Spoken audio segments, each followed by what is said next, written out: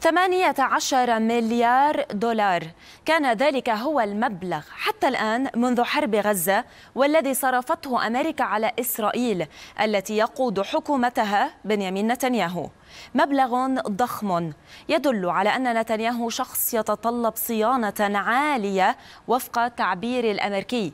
شخص كهذا يبدو أن استمراره في الحكم لن يكون من مصلحة ترامب الذي هو رجل أعمال والإقتصاد أولوية لديه تقول صحيفة هآراتس الإسرائيلية.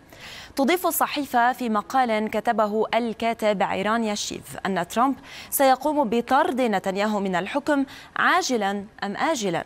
وبحسب كاتب المقال فإن السبب الذي قد يدفع بترامب للتصرف بهذه الطريقة هو أنه لا يريد توظيف أموال أمريكية لا في إسرائيل ولا حتى في أوكرانيا. ويضيف مقال الصحيفة أن ترامب ليس لديه أي التزام إزاء نتنياهو بل ويحقد عليه بسبب علاقته بجو بايدن. ولكن كيف سيزيح ترامب نتنياهو؟ يجيب المقال بالقول إن هناك طريقتين لذلك. الأولى أن يرسل رسالة إلى الأحزاب في إسرائيل على رأسها الأحزاب الحريدية مفادها أن نتنياهو انهى مسيرته المهنية.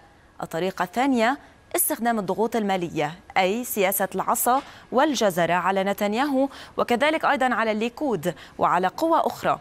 وبالتالي فرض الأمر الواقع على نتنياهو وتنحيه من الحكم.